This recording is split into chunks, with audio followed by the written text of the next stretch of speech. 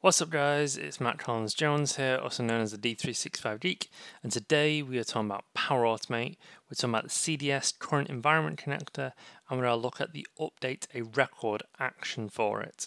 So a lot like the one that is available in the other CDS connector, the Update a Record action allows you to update a record for um, in your CDS or dynamic system. So let's take a look at it. So I'm in my Power Automate flow here. This is a CDS current environment flow, which means this is inside of a solution.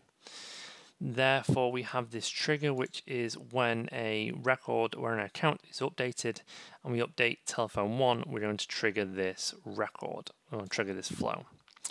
Next, we'll click on new step and we'll type into the search box common data service and we'll choose this one here that says common data service current environment. So we'll scroll down and there is an option or an action down here that says update a record. If we choose that, we then have two inputs. So unlike the other one where we have environment as well, we don't need that because it's just looking at the current environment, hence the name of the connector. So the entity name, so in this instance, I'm just going to update that account that we're triggering this from. So we'll choose accounts and the item ID is going to be the account from um, where we're triggering this from as well. So as you can kind of see, when I chose account, it starts to load the schema and it's pulled through a list of the um, a list of the the fields here. So we've got things like the um, the primary contact, uh, the account number, the rating, the address details. We've got basically every field on the um, on the account record. So in my instance, I'm going to, I think I'll update the account number. Uh, where is the account number? Account number. Uh, and we'll update this to be um, 20, uh, 19, or 2020 dash uh, 04 dash um, 15. So today's date. And that's what we're going to do. So we're going to trigger this record, we're going to update the account, and we're going to change the account number. So we will test this out. Click on test. I'll form the trigger action, save and test. Uh, and then I'm going to flick over to Power Automate. Here we have a test record for Acme Incorporated.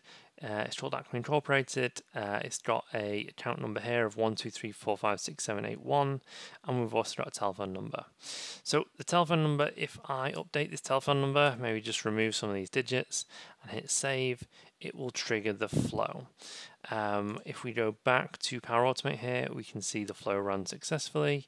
Um, we can expand it and it can show some details about it. Um, it's telling us things like the addresses and stuff like that, uh, the main telephone number, uh, which we've just updated, and the account number. So if I go back to my Acme Inc. record, we can see that it still says that at the moment. If we refresh the page,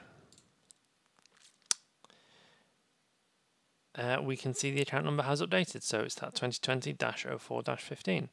So there we have it, a quick and easy way to update records. So this, uh, again, this is in the current environment connector, so there are some things you need to be aware of, things like lookups and stuff like that. Uh, if you want to uh, know how to set lookups, I will link to a video in one of these corners, uh, whichever one um, is the right one, uh, probably that one.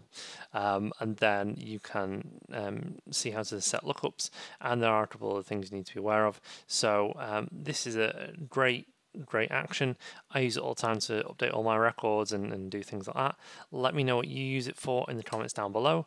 If you like this video, please like and please share it with your friends. If you've not already, please subscribe to my YouTube channel, and I'll see you next time.